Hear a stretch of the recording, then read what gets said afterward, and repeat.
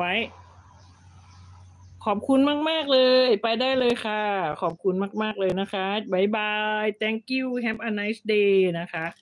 เดี๋ยวสัญญารอให้ลูกค้ากลับมาเช็คเอาท์ก่อนเนาะะเดี๋ยวค่อยคุยกัน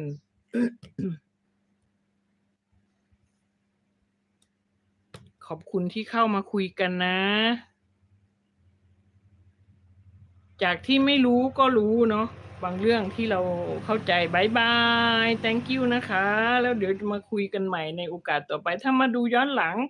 สงสัยอะไรอยากถามอะไรให้สัญญาอธิบายสัญญาอธิบายได้ก็คุยกันได้นะคะ ขอบคุณมาก ๆ เลย ดีใจมากนะคะ ที่ยังเจอกันอยู่ในโลกออออนไลน์ของเราเนาะสัญญาก็หายป่วยจากไอการเป็นไอโรคซึมเศร้า ก็เพราะว่าสัญญามาทำช่องนี่แหละ มันก็เลยทำให้สัญญามีอะไรดีขึ้น จากที่หงุดหงิดวุ่นวาย ใช้ชีวิตน้อยใจมั่งเสียใจมั่ง จนกลายเป็นป่วยสารพัดเรื่องเครียดมากๆเนาะนะ YouTube เนี่ยดีที่สุดเอ่อ Facebook ก็งั้นๆนะคะ แต่ตอนนี้ Facebook ก็เริ่มสร้างรายได้ได้แล้วนะ เราสามารถเอาคลิปเก่าๆเราไปลงในหน้าเพจของเราก็ได้ ถ้ามีคนติดตามเราก็ได้เพิ่มคนติดตามมาจากช่องทางนั้นเป็นอีกช่องทางหนึ่ง ที่สามารถสร้างการตลาดให้เราได้นะ ขอบคุณนะคะบายบาย thank you เลยละที่เข้ามาหากัน สัญญาก็จะไลฟ์สดไปอีกสักพักหนึ่งจนกว่า จะดูว่าจะมีลูกค้า รอเขาว่าเนี่ยอย่างเขามาจะมาเช็คอินแบบเนี้ยเราจะทำยังไงนะคะ ก็เปิดช่องให้ไป เปิดช่องทางการขายห้องให้ได้ถึงปีใหม่ไปเลยนะคะ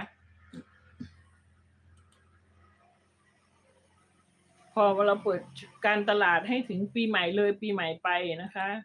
มีลูกค้าจองมาช่วงนู้น เราก็ส่งจดหมายไปบอกเขาก็แล้วกันว่าใกล้ ๆ นั้น เราก็มาเช็คดูว่าเขาแคนเซิลหรือเปล่าเท่านั้นเองเนาะขอบคุณน้อง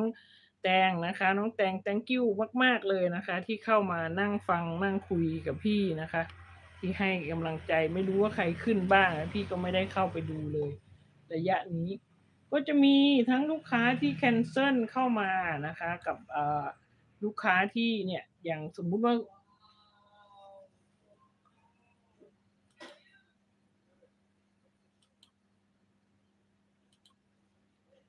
เดี๋ยวดูก่อนนะว่าอะไร เป็นอะไรเดี๋ยว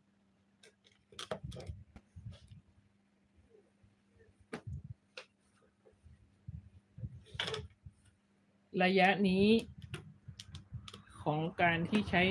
ชีวิตอยู่บนเกาะพังงานนี่ มันเป็นเรื่องสนุกสะดวกสบายมาก ๆ เลยนะ อย่าลืมนะคะทุกคน หากเราอยากจะใช้ชีวิตให้มันมีความราบรื่น อย่าไปอย่าไปเครียดมากนะคะ ความสำเร็จอยู่กับเราเนาะ เราเข้าใจเรื่องราวดีๆ กับชีวิตเราก็พอแล้วนะ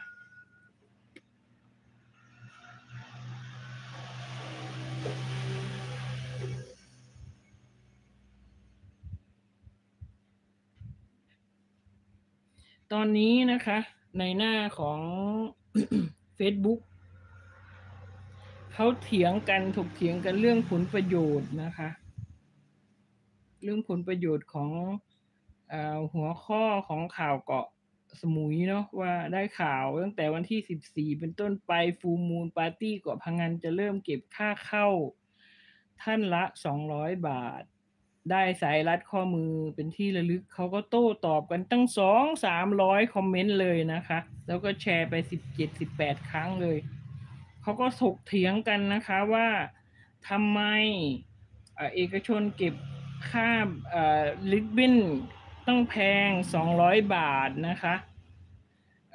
ทำไมต้องเก็บกับคนไทยด้วย ทั้งๆทที่มันเป็นชายหาดสาธารณะ แต่เขาจะเก็บแค่คืนฟูมูลเท่านั้นนะคะ เพราะว่าจัดการเอาเงินส่วนนั้นมาจัดการบริหารเป็นชมรมเก็บขยะทำความสะอาดที่หน้าหาดเนาะสัญญาไม่คิดจะไปเที่ยวฟูมูลก็เลยไม่ ถ้าเพื่อนๆอยากให้สัญญาไปถ่ายฟูมูลแล้วมาลงบ้าง กดหนึ่งมาได้ถ้าเป็นเพื่อนที่เข้ามาฟังทีหลังนะคะ ถ้ากดหนึ่งไว้หรือว่ามา